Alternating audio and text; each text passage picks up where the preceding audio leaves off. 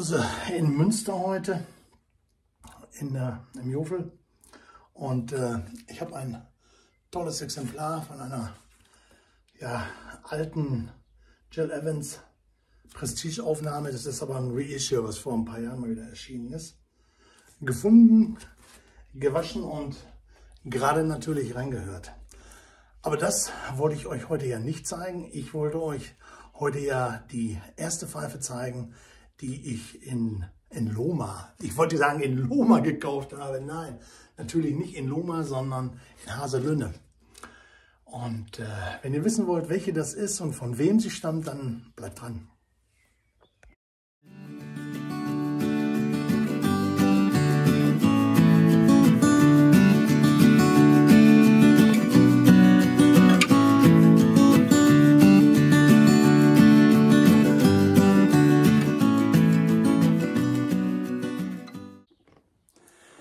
Loma war gar nicht so verkehrt, weil die Pfeife, die ich euch gleich zeige, die ich in Haselünne gekauft habe, habe, die stammt vom selben Pfeifenmacher, von dem ich auf der letzten Loma-Messe eine Pfeife gekauft habe. Und zwar zeige ich euch diese mal zuerst. Das ist dieses wunderschöne kleine Stück, die wirklich bei mir jede Woche zum Einsatz kommt. Und diese Pfeife habe ich auf der letzten Noma-Messe von Martin Esser gekauft. Und Martin Esser ist ein, ein Pfeifenmacher aus dem Saarland, von dem ich ehrlich gesagt relativ wenig weiß. Er ist auf jeder größeren Pfeifenmesse vor Ort und zeigt seine Pfeifen, verkauft seine Pfeifen, fällt immer wieder durch seine ja, sympathische Art auf. Er ist meiner Meinung nach sehr bescheiden. Übrigens auch, und das ist einer der Punkte, die wirklich zu beachten ist, meiner Meinung nach, äh, auch äh, in Bezug seiner Preisgestaltung. Es gibt ja den einen oder anderen, gerade jüngeren Pfeifenmacher, wo ich mich dann manchmal schon wundere und sage, hm, sandgestrahlte Pfeife, da steht eine 3 vorne am Preis. Kollege, das, das ist eine, eine Sache, wo ich dann nichts gegen sandgestrahlte Pfeifen, natürlich ist mir bewusst, Arbeitsaufwand äh, plus etc., alles kein Thema. Das sind keine Seconds, weiß ich alles, aber nichtsdestotrotz ist es ja immer noch was anderes, ob ich jetzt wie hier von, von Martin auch ein wirklich schönes Grain noch habe und die Pfeife also tatsächlich keine größeren äh, Fehlstellen aufweist. Und äh, ich kann mich durchaus erinnern, dass ich sowas von ihm in Loma, ist natürlich schon eine Handvoll Jahre her, äh, für, glaube ich, irgendwie 120, 140 Euro gekauft habe. Also das ist schon, schon wirklich äh, äh, Fakt. Äh, das war damals wirklich vom, vom Preis und von der Leistung her war das für mich tatsächlich herausragend. Ähm, Verarbeitung ist richtig klasse. Was mir an der Pfeife, wenn ich meckern wollen würde, vielleicht auffällt, ist, dass das Mundstückmaterial, ähm, das ist äh, äh, kein Acryl, das ist also äh, noch, wie gesagt, das, das, das althergebrachte Material, dass das letztendlich ähm, sich manchmal vom, vom bisher etwas so anfühlt, als wenn es eine preiswertere äh, Schiene ist, die er dort zugekauft hat. Aber Leute, bei dem Preis, das wäre unverschämt, das jetzt als Negativpunkt aufzuführen. Ich sage es nur deshalb, weil sich es bei der neuen Pfeife deutlich gebessert hat, sag ich mal, beziehungsweise weil die neue Pfeife da nochmal deutlich heraussticht. Und das ist mir halt aufgefallen in dem Moment. Ja, genug von der, von der alten Pfeife. Jetzt komme ich zu der neuen Pfeife. Bevor ich sie euch zeige, ähm, ich bin reingekommen in Haselünne und ähm, hatte den Plan, weil ich auch mit ihm Kontakt gehabt habe, eine Pfeife äh, von Henrik Kroll zu kaufen. Und ähm, wie der Zufall es so will, sitzen Henrik und Martin, ich äh, blende auch mal ein Foto ein, sitzen zusammen äh, an einem Tisch oder sitzen nebeneinander, sage ich mal letztendlich. Da habe ich schon gedacht, aha, das ist schon der erste Wink des Schicksals. Äh, wenn du äh, nicht eine Pfeife von Henrik, sondern vielleicht zwei Pfeifen kaufen solltest, noch von einem zweiten Pfeifenmacher, Da hat dann ja ähm, das Universum schon mal ganz klar den Finger gezeigt und dir gesagt, okay, schau mal, da sitzt dann tatsächlich auch noch der Martin Nesser letztendlich.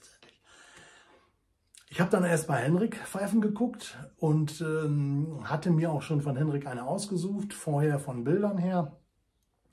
Habe dann zu Henrik gesagt, ah, die andere, die da liegt bei dir, die ist auch sehr schön. Ähm, aber das werde ich in dem zweiten Video alles nochmal genau aufdröseln. Und habe eigentlich nur so, ja nicht durch Zufall, aber so, so nebenbei mal nach rechts geschaut zu Martin oder zu Martins Pfeifen. Und da stach mir sofort eine Pfeife ins Auge und zwar, so witzig es sich anhört, aufgrund des Mundstücks. Und gerade ja gesagt, dass Martins äh, Mundstücke vor einigen Jahren guter Standard, aber Standard waren. Und ähm, dann habe ich etwas gesehen. Ich hoffe, ich kann es euch zeigen anhand oder im Video. Aber es ich blende euch einfach mal die Bilder ein, die ich gemacht habe. Und dann äh, können wir uns in Ruhe zusammen angucken, was mir da direkt ins Auge gesprungen ist.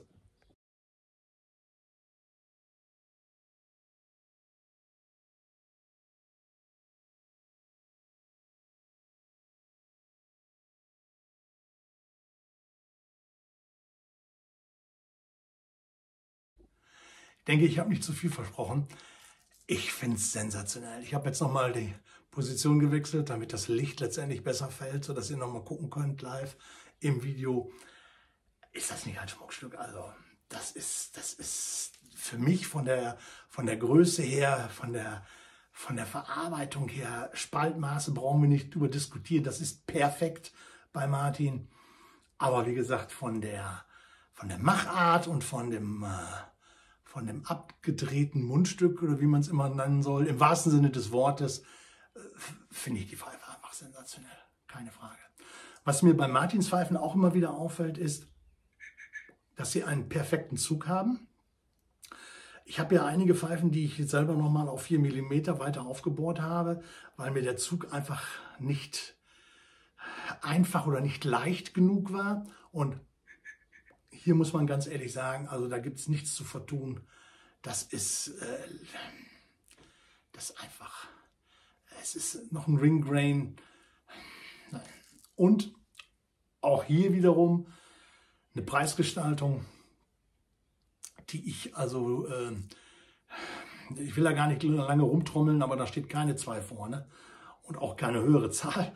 Also von daher äh, muss man natürlich bei jeder Pfeife individuell mit ihm ähm, absprechen, letztendlich, was hier einem wert ist, beziehungsweise was er halt aufruft aufgrund der Besonderheit, aufgrund der, der, des Arbeitsaufwandes etc. Aber äh, das sind einfach, das sind einfach Geschichten, finde ich, finde ich Hammer. Kommen wir zum Schluss zu einem kleinen Haken letztendlich. Wie kauft man eine Martin Esser Pfeife? Ich habe da mit ihm noch nicht drüber gesprochen, aber ähm, wollte es eigentlich dringend mal machen, weil ich habe festgestellt in der Recherche vor dem Video, der Martin hat keine Homepage. Der Martin ist per E-Mail zu erreichen, ja. Ähm, aber wie gesagt, er hat keine eigene Homepage. Wenn man mal im Netz sucht, findet man den einen oder anderen Verweis auf seine Pfeifen. Und äh, es gibt vielleicht auch den einen oder anderen Händler, der, der sie führt. Aber ähm, da muss man ganz einfach ja, ihn mal direkt anschreiben und um Fotos bitten in dem Bereich. Aber da ist natürlich auch die Frage an dich, Martin, letztendlich. Ich weiß, dass es, es gibt eine reservierte Domain ähm, über deine Pfeifen. Die steht aber meines Wissens schon seit einigen Jahren äh, in Bearbeitung. Kommt da bitte was oder was dürfen wir da erwarten? Da du und deine Pfeifen, ihr habt es verdient. Von daher ist da die Möglichkeit. Ansonsten natürlich klar, die Alternative geht auf die Pfeifenmessen, was ja sowieso äh, einfach äh, jedem nur strengstens zu raten ist. Und da werdet ihr Martin antreffen und äh, habt da die Möglichkeit, letztendlich so eine tolle Pfeife von ihm zu erwerben. Das soll es gewesen sein. Ich würde es gar nicht zu lange machen und würde sagen, ähm, schon mal der kleine Cliffhanger. Beim nächsten Video geht es halt um die äh, Henrik Kroll-Pfeife, die ich in Haselünne gekauft habe.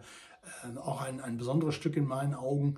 Ähm, freut euch drauf, ihr werdet es sehen. Ich wünsche euch was. Danke, ciao.